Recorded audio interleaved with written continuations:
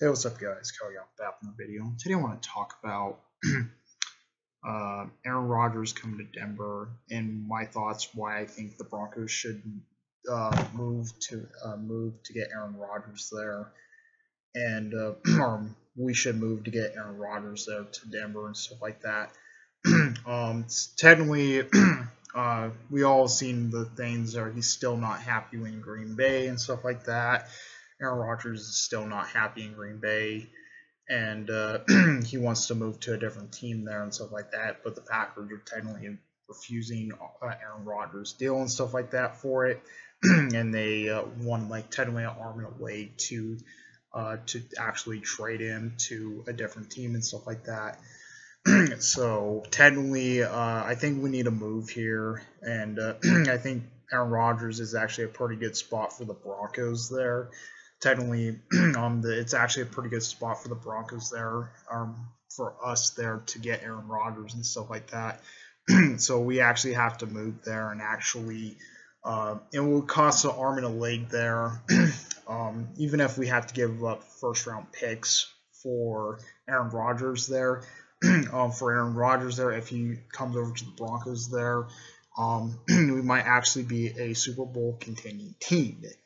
Um, so we might actually going to be a Super Bowl contending team if Rodgers does come over to Denver there and stuff like that.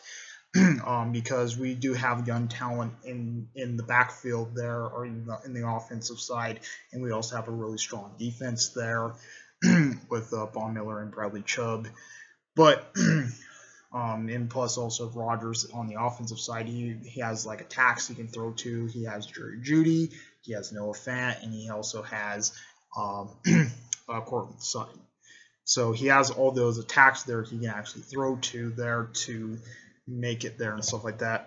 so I think it'd be a pretty good move if the Broncos actually picked up uh, uh, Courtland Sutton, or not Courtland Sutton, uh, Aaron Rodgers there.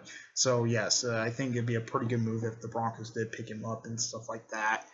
Um, so because we will be a, a, a play, uh, a Super Bowl contending team if we do pick him up and stuff.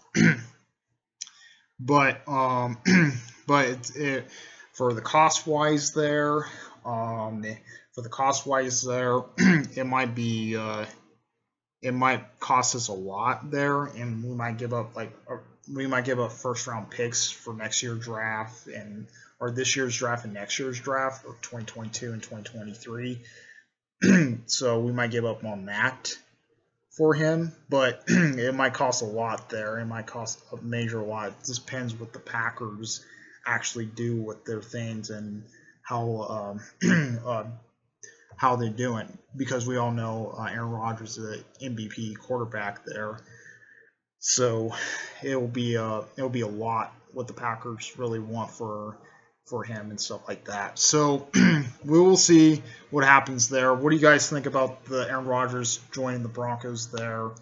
Uh, comment down below. Uh, comment comment rate responsible to the spin videos. We like like my like my other videos. Please subscribe. Hit that bell notification for uploads. Comment responsible to the spin videos. We like check out. Of your peas.